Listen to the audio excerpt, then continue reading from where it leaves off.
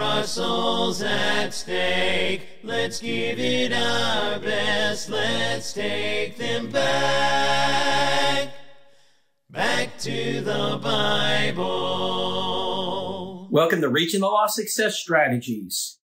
Have you ever gone to a website and you couldn't successfully navigate? You couldn't find what you're looking for. You knew they had the product, but you couldn't find it on the website. Have you ever had trouble checking out and you couldn't figure out how to pay? And, and when you tried to pay, it rejected your payment over and over again. What do you do when you go to a website like that? Well, you just uh, go to a different website because there's lots of different stores where you can get your product most of the time. When I was growing up, my mother would give me the Sears and Roebuck catalog and she'd give it to my sister and I, Christina. We'd go through it and we look for Christmas gifts. Then she'd take that and go to, you know, she'd go to uh, Sears and get the gifts. Sometimes we go to Ward's or maybe another department store. These department stores don't even exist anymore. Kmart. And that's how we did our shopping. Today, our shopping is much different. We use websites. And um, the key to uh, a successful website is, is it easy to find the product? Is it quick to check out?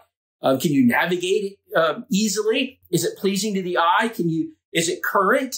Um, is it slow? Does it give you what you're looking for quickly? What about your church website? You know, congregational websites is are an evangelism tool. And in order for it to work properly, it needs to have the same kind of metrics you'd use for any other store. You, it needs to be current. It needs to be easily navigated, pleasing to the eye. It needs to have the most important information prominent, like, you know, contact information. So when you go to your website, can you easily find your time of services? That's important. Is it current? You know, my family travels all the time and we'll be perhaps going home on a Sunday afternoon and we're not going to make it. So we got to stop at a church on Sunday night. It's not uncommon for us to go to the website of that congregation in the area, look at their service times, arrive, and they're finished or they have moved their service times and there's no information on the website to let us know. So we missed that evening worship assembly because your website doesn't work. Now, I'm certainly not going to become unfaithful because your website doesn't work. But let me ask about the person in your, your community who's looking for a church home. They go to your website and the website, you can't navigate. You can't find contact information. It's not correct. There's no address. Right now, type in your church website. Is it current? Is it working? Can you access it? All right. Use the same standard you'd use for any other business. And, and because it's important. Now, there's no yellow pages. There's no white pages. There's no phone book. There's no Sears and Roebuck catalog. We got to have websites that work. I don't care where you're located, how, how rural you are.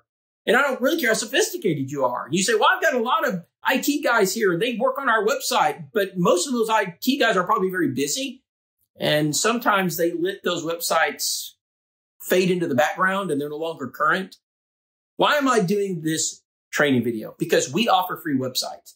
If you don't have a good website for your congregation, contact us at house to house, heart to heart. If you're receiving our publication, we will in turn provide you a free service. We will give you a website. The website's very attractive. It's easy to navigate. It's an evangelism tool. You want your website to pop up when people move into your community and they're looking for a church home. If it does not pop up, if it's not working, you're missing out on another contact, contacts made by websites, functioning websites. So we want to encourage you to make sure you have a website, you have a URL, and that someone is keeping it current. If you'll send us the information, we'll populate that website for you. It's free. It's no charge. Now you can go out there and pay a company a lot of money, a webmaster to keep it up. And um, I'm not, I'm certainly not suggesting that uh, that you shouldn't do that because they can probably do more than we can do. But if you're depending on someone in the congregation, let's make sure they're actually doing it. And if they're not doing it, let's make a change, alter course.